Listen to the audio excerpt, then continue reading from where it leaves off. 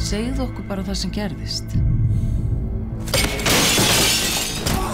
Ég elska. Ég og sjálf börn, ég get alveg skilið hversu nú gerðir þetta. Það er uh, óttar. Sæl, hvað sér? Hvað með þetta verið þitt barn? En hún er ekki barn er það. Gagvart lögunum er hún fullorinn manneskja. Er ykkur alveg með þessu? Já, já. Já, hann, bara, hann er fín. Þetta er flott stelpa. Ég skal passa upp á. Lóma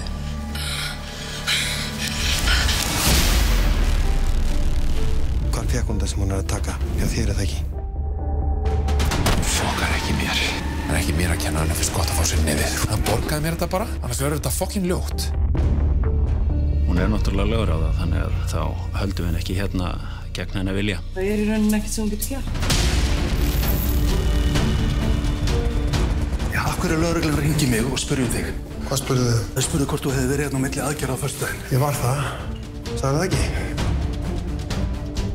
Það mætti einhverju menn hendinans með haglabissu, skutan í bringuna. Búin að setja nagla hausa í skotelkin.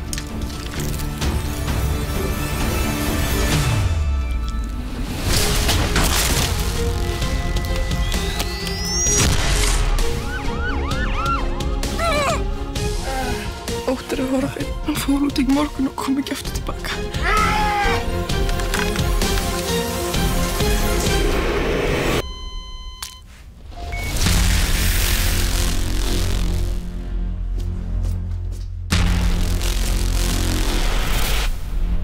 Okay.